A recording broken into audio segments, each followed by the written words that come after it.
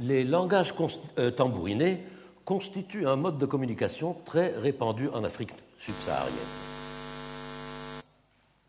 Ils sont régis par des lois qui relèvent à la fois de la langue et de la musique, puisque pour transmettre des messages linguistiques, on utilise des instruments de musique. Alors je vous suggère, pour que vous ayez une idée de ce dont nous allons parler, de vous faire entendre un petit extrait d'un message tambouriné.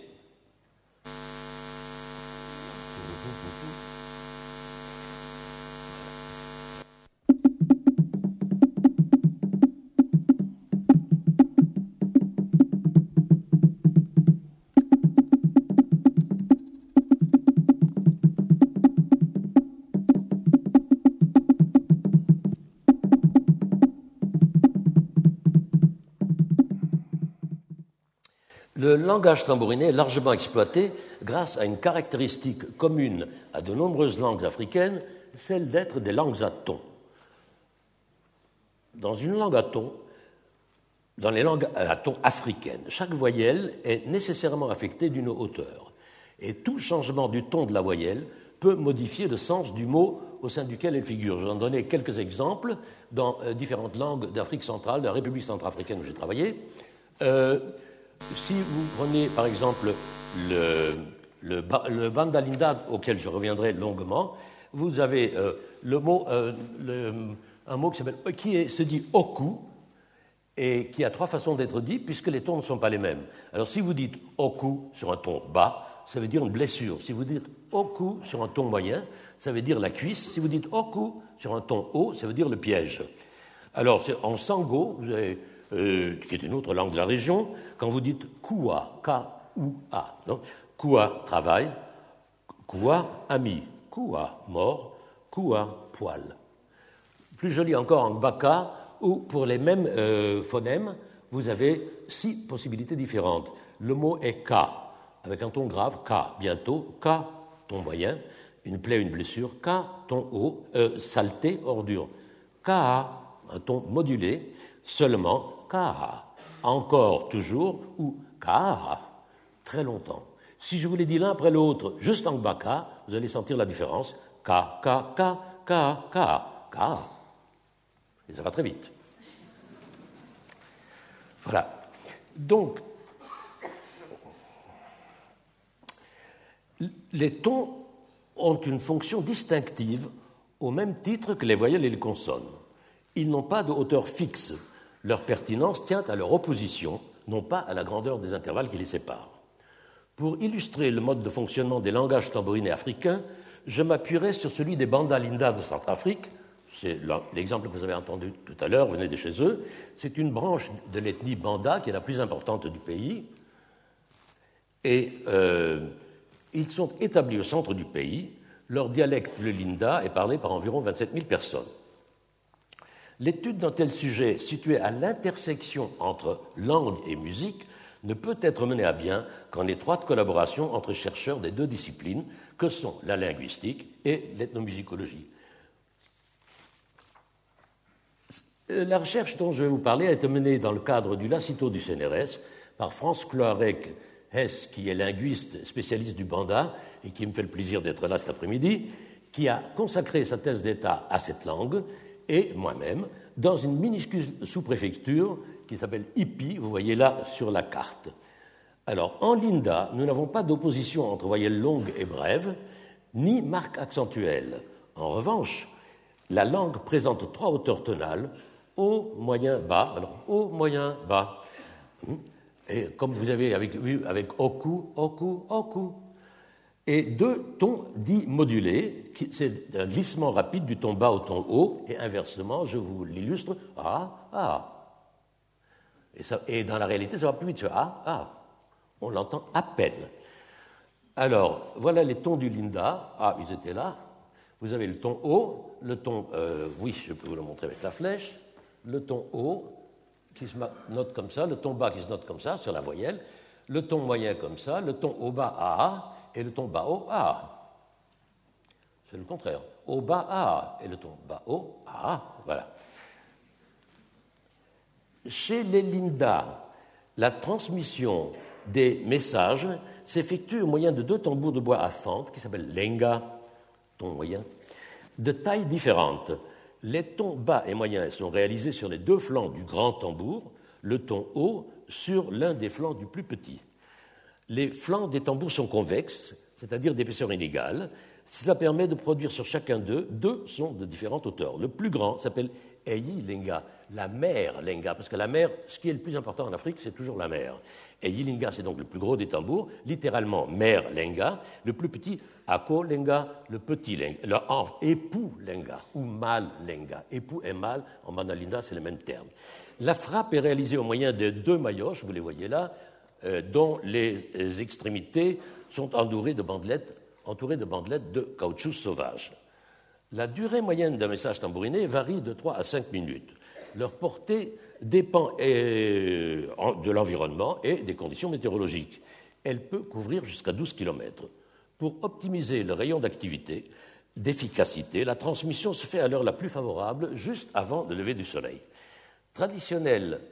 Traditionnellement, chaque village Linda possède euh, une paire de lingas et c'est le chef du village qui en est le responsable, qui le garde. On peut dire que le langage tambouriné des Linda, comme d'ailleurs celui de nombreuses autres langues africaines, est comme un calque qui serait posé sur la langue et qui n'en conserverait que les hauteurs tonales et le rythme de l'élocution.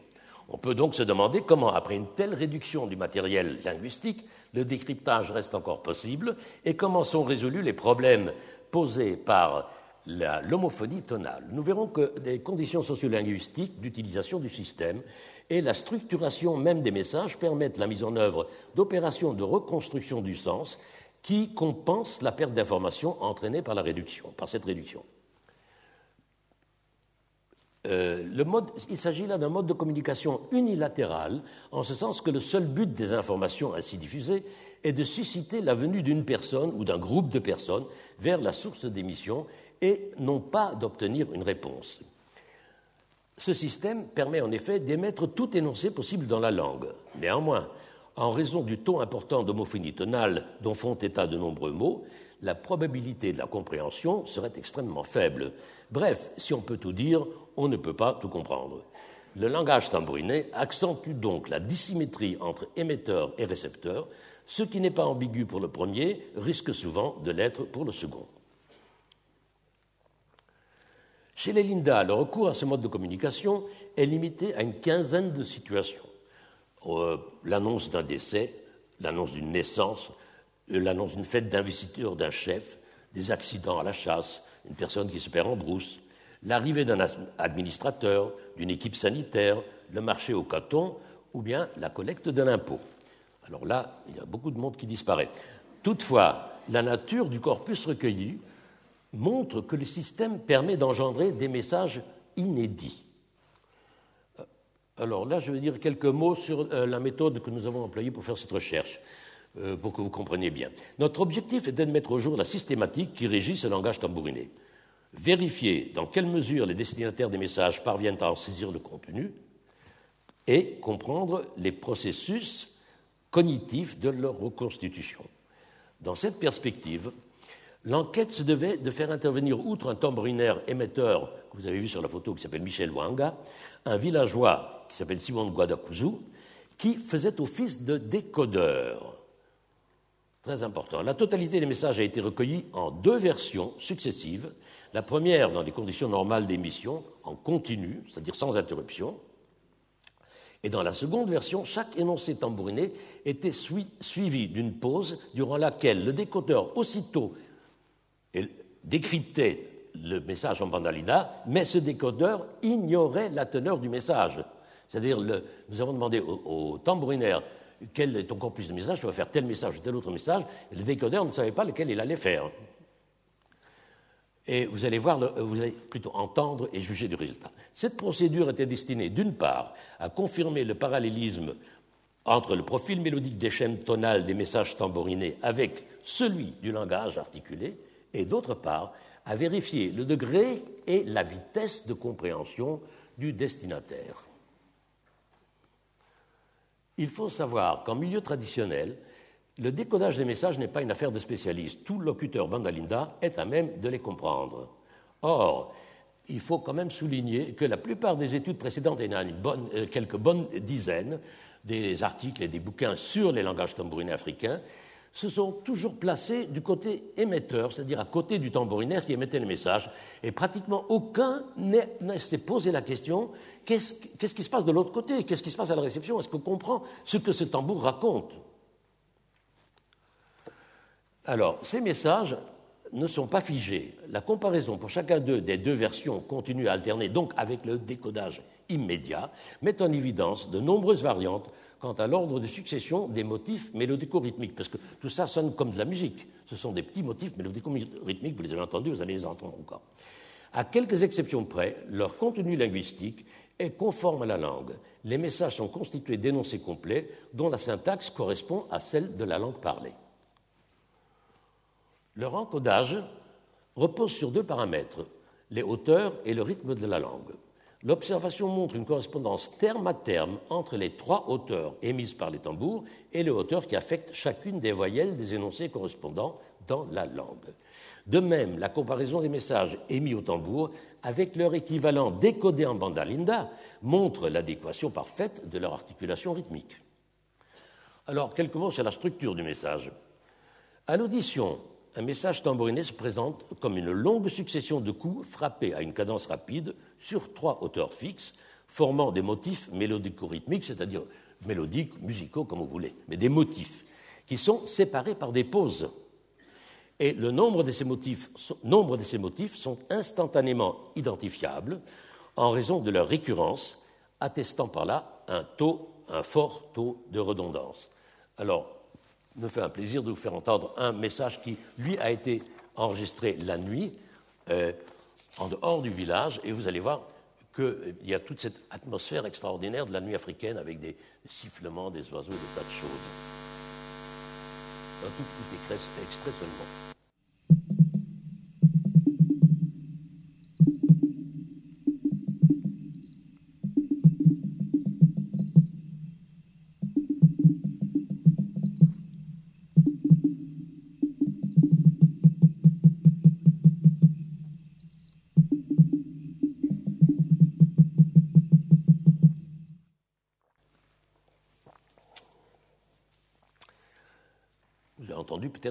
Reviennent sans cesse. Ce phénomène de récurrence a mis en évidence l'existence de deux classes paradigmatiques. Par paradigme, j'entends ici un ensemble d'énoncés dont la notion centrale est définie par le sens. L'analyse de la totalité du corpus a fait apparaître qu'il n'y a pas d'énoncé qui ne trouve sa place dans l'une ou l'autre de ces classes. La première comprend les types d'énoncés communs à tous les messages. Alors, ce sont d'abord des formules d'adresse comme et les cultivateurs, et les chefs de village, et les invités. Lorsqu'un message concerne un seul destinataire, son identification est assurée par un procédé de surdétermination. Le tambourinaire frappera alors un tel, fils d'un tel, du village un tel, enfant du lignage d'un tel. Et là, il n'y a plus moyen de se tromper. Les formules de convocation. Rassemblez-vous, rassemblez-vous tous, rassemblez-vous vite, venez vite vers moi, venez vite, venez vers moi, vite, vite, vite, courez vers moi, venez vers moi en foule. Vous voyez la redondance et la, répétition, les variantes sur un même thème, sur, le même, sur la même idée en somme. Des formules d'incitation à l'écoute. Avez-vous compris? Avez-vous tout compris? Avez-vous bien compris? Vous êtes en train d'hésiter. Ne faites pas les idiots. Des formules d'authentification. C'est la vérité que je vous dis là. C'est la vérité que je vous dis là c'est la vérité que je suis en train de vous dire. Je ne me trompe pas, c'est bien à vous que je m'adresse. Enfin, la formule de fin de message, c'est la dernière fois que je vous parle. Alors, pour rendre tout cela un peu plus concret, je voudrais d'abord, euh, voici d'abord quelques énoncés successifs, extraits de l'invitation à la cérémonie d'investiture d'un chef traditionnel qui va, nous, euh, me servir pour tous les, les autres exemples. Voilà ce qu'on y trouve. Et les invités. Vous voyez, le taux de redondance, c'est un peu pour ça que je vous le lis à haute voix, parce que ce n'est pas euh, follement intéressant, mais c'est intéressant de voir comment, comment ça se construit.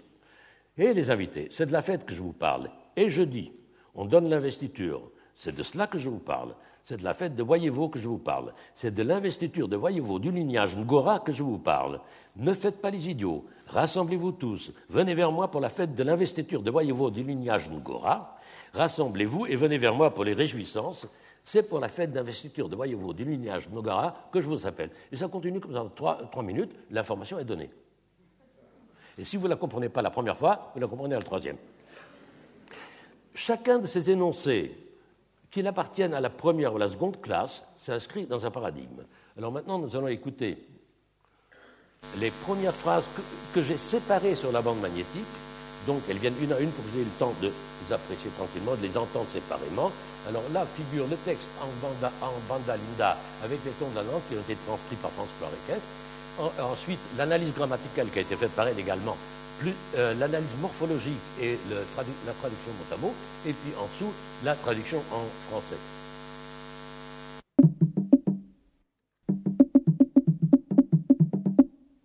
Cette phrase est répétée deux fois.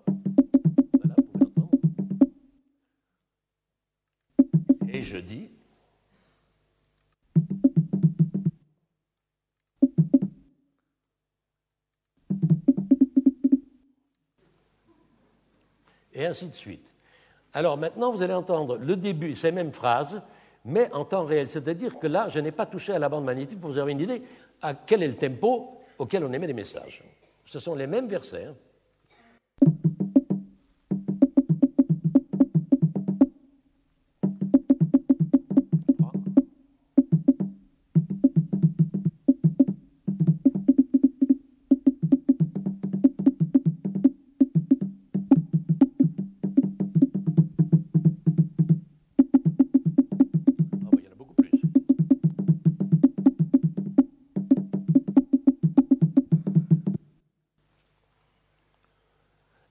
Vient la version alternée. Donc, je vous rappelle, on a fait euh, mettre le, décodeur à une certaine distance du tambourinaire, et puis le tambourinaire cessait de frapper avec chaque énoncé ou euh, séries d'énoncés, et le décodeur les traduisait au fur, et à mesure. Donc, entre l'arrêt du tambour et le décodage, nous sommes en temps réel. Il n'y a pas d'espace de temps ajouté, disons.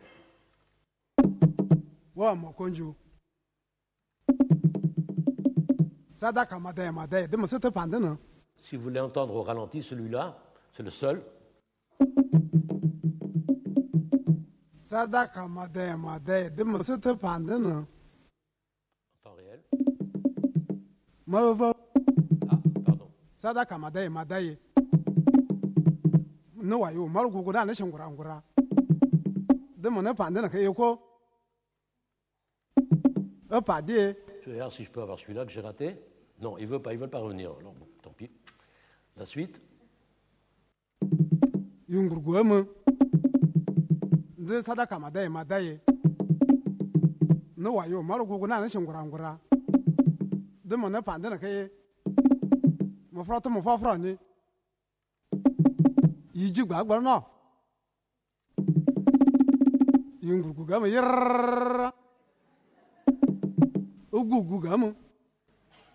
On passe au suivant.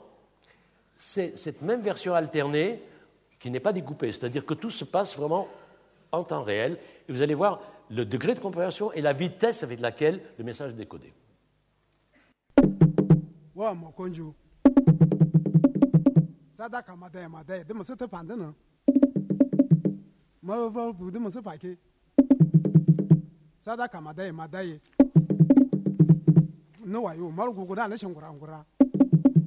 De mo ne pande na yoko e pade yungurgo mu de sadaka ma dai ma dai no wa yo maru gugu na ne shingura ngura de mo ne pande na ke mo froto mo fa fro ni. Yiji gba gba no yungurgo ga mu yirra l'information spécifique est toujours enchâssée dans les formules générales dont la fonction est d'attirer et de maintenir l'attention des destinataires et d'indiquer la fin du message. L'ordre d'occurrence des différentes formules, qu'elles soient générales ou spécifiques, n'est pas codifié. au choix, il est laissé au choix du tambourinaire, c'est-à-dire que la syntaxe des messages est libre. Les formules générales ont une fonction démarcative qui seule permet d'isoler le sens propre au message. Celui-ci s'ordonne toujours autour des nominaux qui portent la charge sémantique la plus grande. C'est pourquoi leur frappe est systématiquement redoublée. Quand on dit le lignage Ngora Ngora, il répète toujours deux fois sur le tambour, ou Madaye Medaye, qui veut dire en, bon sango ou en bon bandalinda, Madaye Medaye, vous voyez ce que je veux dire, la fête d'investiture. Euh, donc le mot aussi est, euh, aussitôt euh, répété. Tous les mots qui portent la charge sémantique spécifique au message sont systématiquement redoublés. les stratégies du décodage. Elles reposent sur la capacité du destinataire à reconstruire le sens à partir d'éléments dont une partie seulement lui est connue. Cette connaissance lui est fournie par, la situation extralinguistique et par la structure des messages. Voyons la situation extralinguistique. Les destinataires localisent la source sonore et ils situent dans l'espace l'origine du message, ce qui élimine déjà une grande partie des destinataires potentiels. La structure des messages, la plus grande part du message est constituée de formules générales, celles que l'on trouve dans tous les messages dont le contour mélodique de cela est connu. On peut dire que leur musique fait donc directement sens pour l'auditeur. On recense une dizaine de formules générales dont chacune fait l'objet au, au sein d'un même message de différentes réalisations, ce qui produit un taux considérable de redondance. Du point de vue cognitif, il est remarquable que l'identification de ces formules n'est pas entravée par les nombreuses variantes auxquelles elles se prêtent. Comme le note France Chloricès, Ceci, je cite, ceci s'explique par le fait que chaque variante comporte une suite typique minimale, une signature qui en constitue le prototype et dont la seule présence garantit l'interprétation correcte. Fin de citation. Ainsi, la formule venez vers moi peut présenter l'une des formes suivantes. Là, vous en voyez 1, 2, 3, 4, 5, et vous voyez gamme, c'est ça, gamme, bas, haut, moyen qu'on retrouve partout ici et ici même deux fois. Et gamme veut dire vers moi. Donc tout le reste est identique. Euh, tout le reste euh, est identique. Ce qui euh, est, identique ou pas identique, presque identique. Mais ce qui compte ici, l'idée, le sens, il est dans cette, dans cette expression-là, vers moi. Le décodage fait appel à deux procédures distinctes selon que le segment du message concerné est une formule générale ou spécifique. On a vu que pour les formules générales, c'est par le contour mélodique que l'auditeur accède directement au sens. Quant aux formules spécifiques, leur inventaire montre que la quantité d'informations propres à chaque message est extrêmement réduite. En effet, au sein d'un même message, on ne compte guère plus de trois formules euh, sémantiquement distinctes. Ces unités sont balisées avant et après par deux formules générales du genre je dis que et c'est de cela que je vous parle ce sont ces repères qui permettent à l'auditeur de localiser le segment sur lequel il doit porter son attention. À l'inverse des formules générales, les formules spécifiques ne sont pas décodables sans le recours à la transposition en langue. Le processus de reconstitution des messages linguistiques met en œuvre deux opérations, la segmentation et la sélection par recombinaison. Le rythme, par sa fonction démarcative, garantit l'efficacité du, décodage linguistique. Grâce à la segmentation, c'est-à-dire les pauses entre les énoncés, il assure la localisation et l'identification des unités ou des motifs à interpréter. Dans tout segment, l'ambiguïté est d'autant plus réduite que le nombre de combinaisons ou de syllabes est grand. En d'autres termes, plus le nombre de syllabes est grand, plus réduite sera la part euh, d'indétermination. La sélection par recombinaison est illustrée ici par deux, formules quasi homonymes que voici. Me forote me foforone, voilà les tons. Et voilà, Yangboro ending. Bon, je vais un peu vite et je ne les prononce pas très bien. Et vous voyez qu'ici, le contexte est absolument le même. Et tout ce qui distingue ces deux, ces deux, ces deux énoncés, c'est ton haut, ton moyen, de ton bas. Alors, euh, cet exemple est emprunté à une publication récente de France Cloireques et il met en évidence le caractère non linéaire de la perception des formules et le processus de rétroidentification par recombinaison. Il montre que les deux formules ne diffèrent que par les quatrième et cinquième tons, c'est ici. C'est la présence d'un schème haut moyen dans le premier et bas bas dans le second qui permet à l'auditeur d'interpréter non seulement les troisième et quatrième, sont ces deux-là, euh, comme deux mots différents, respectivement moi-même et idiot, mais aussi rétroactivement les deuxième et les troisième ton par le jeu des incompatibilités sémantiques comme celles qui existent entre tromper dans un cas et faire dans l'autre. C'est ce que Franz Clarek nomme le décryptage par rétroidentification et recombinaison des éléments ou par élimination des possibles. Ce processus suppose un stockage mémoriel jusqu'à un effet de seuil où la compréhension se fait par recombinaison. Le processus de décodage des formules spécifiques est donc symétrique de celui de l'encodage. L'auditeur reconstruit l'énoncé en redéployant mentalement dans la langue l'équivalent, des tons qu'il entend. Voilà, c'est à peu près tout ce que je voulais vous raconter sur le langage tambouriné.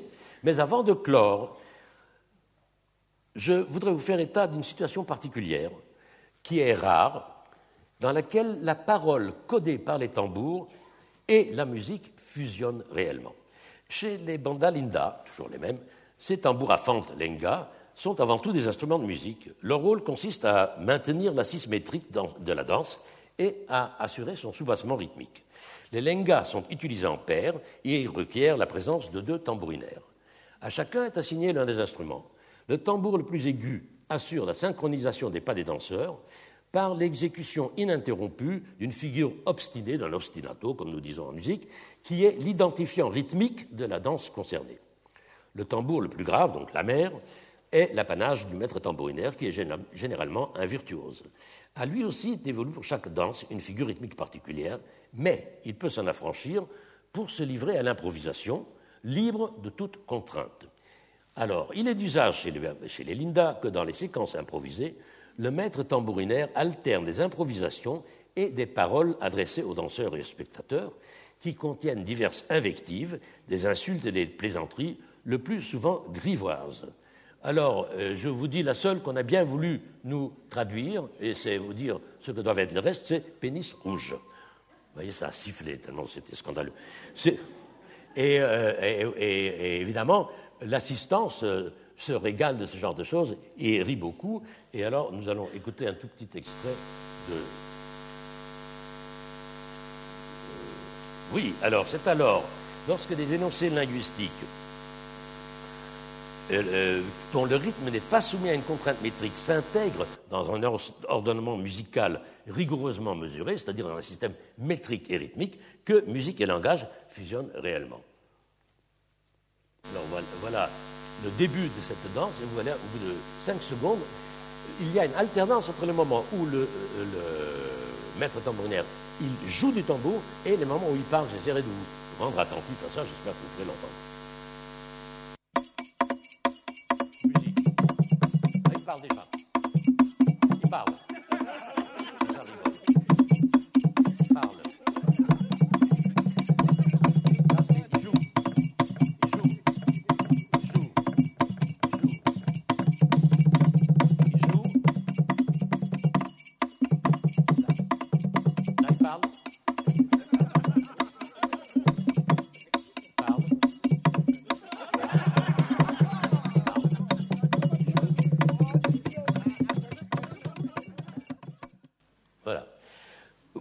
Conclure ou récapituler, je dirais que le langage tambouriné des bandalindas se présente comme un système fonctionnel qui est synchroniquement clos mais diachroniquement ouvert. Il a recours à un nombre défini de paradigmes dont chacun peut donner lieu à des réalisations différentes. On peut donc le considérer comme l'équivalent un peu élargi, je dirais même beaucoup élargi, d'un système phonologique. Aussi, les langages tambourinés de la plupart des langues africaines, les langues à ton africaines qui en font usage, repose pour l'essentiel sur des principes semblables.